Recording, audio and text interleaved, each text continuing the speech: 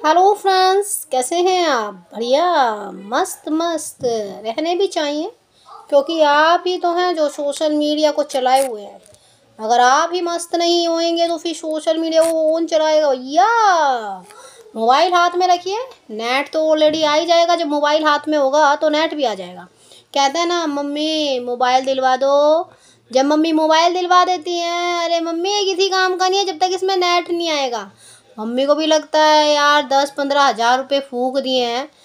Net चलो लगवा ही देते हैं। तो नेट लग के फिर बच्चा भूल जाता है, मम्मी कहाँ है? अरे मम्मी, वो दिला दो, ये नहीं कहेंगे। मम्मी, अभी खाना नहीं खाना है। भाई, ये सोशल मीडिया में इसी तरह तो जो है आपके मोबाइल की बिक्री बढ़ रही है। बच्चे पढ़ेंगे पहले, उससे पहले मोबाइल हाथों में आ जाएगा। एग्ज़ाम है, मोबाइल तो मोबाइल को जो है मोबाइल की जगह रख दो।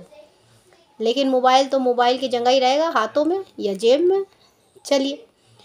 लेकिन अगर ये कहा जाए कि भाई रूपाली गांगुली ने सुम्बुल से मांगी माफ़ी ऐसा क्या हो गया? यार फैंस जब तक पूरा नहीं पढ़ते ना उससे पहले कमेंट देखे क्या लिखते हैं? हाँ कमेंट भी बहुत ज़्यादा आ रहा है ना रूपाली गांगुली को। हम्म, देख लो शो की टीआरपी कितनी कम हो गई है। हाँ हमारी सुम्बुल से चिढ़ती है ना इसीलिए।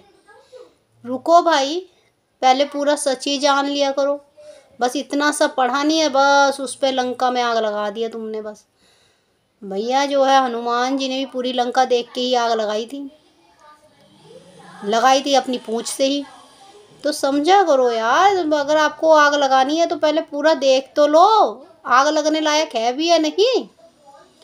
चलिए, भाई सुम्बुल छोटी सी उम्र में काफ़ी तरक्की ले रही है, या कहें कि बहुत ज़्यादा पॉपुलरिटी ले रही है।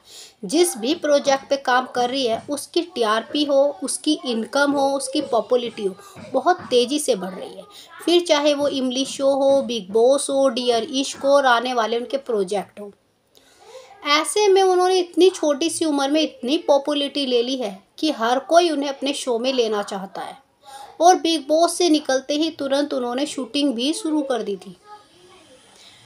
इतनी सी उम्र में जहाँ वो कह रही थी कि मुझे हॉलीडे पे कहीं जाना है, लेकिन जब प्रोजेक्ट सामने आया तो पहले उन्होंने अपने काम पे ध्यान दिया। उन्होंने कहा हॉलीडे तो फिर भी हो जाएगा। उसी के बीच में भाई, इतनी छोटी उम्र में उन्होंने अपना आशियाना भी बना लिया है। उसी आशियाना में उन्होंने अपने पुराने दोस्तों को भी बुलाया है।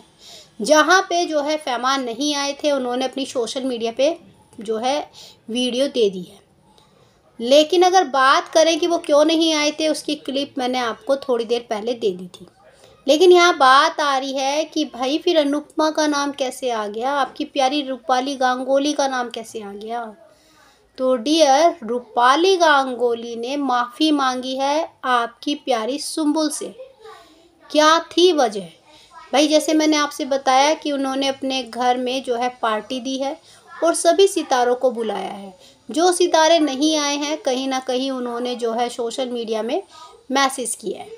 उसी के बीच में रूपाली गांगुली ने भी जो है मैसेज किया है कि मैं शूटिंग में बिज़ी थी और इसीलिए मैं तुम्हारे इस पार्टी में नहीं पहुँच पाई, लेकिन मुझे तुम पे गर्व है।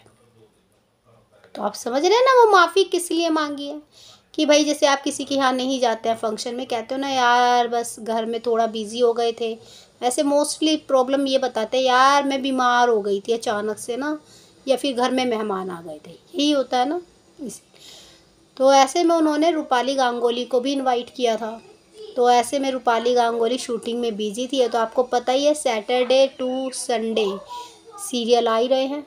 तो भैया उसमें कहाँ टाइम निकल पाता है? तो इसीलिए वो फ़ंक्शन में नहीं आई थी।